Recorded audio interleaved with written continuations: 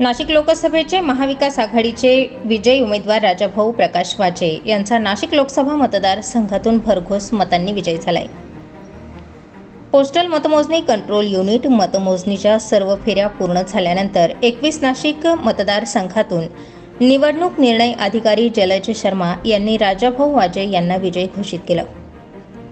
यावेळी महाविकास आघाडीचे सर्व पदाधिकारी कार्यकर्ते यांनी गुलालाची उधळण करत फटाक्यांची आतिषबाजी करून जल्लोष साजरा केला.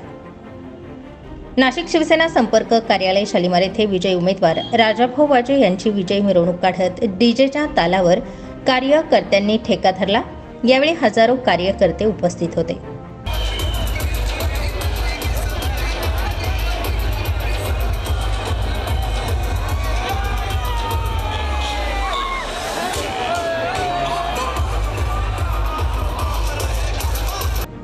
स्टार ट्वेंटी फोर फास्ट न्यूजसाठी दीपक अंभोरे सह प्रकाश शेळके नाशिक.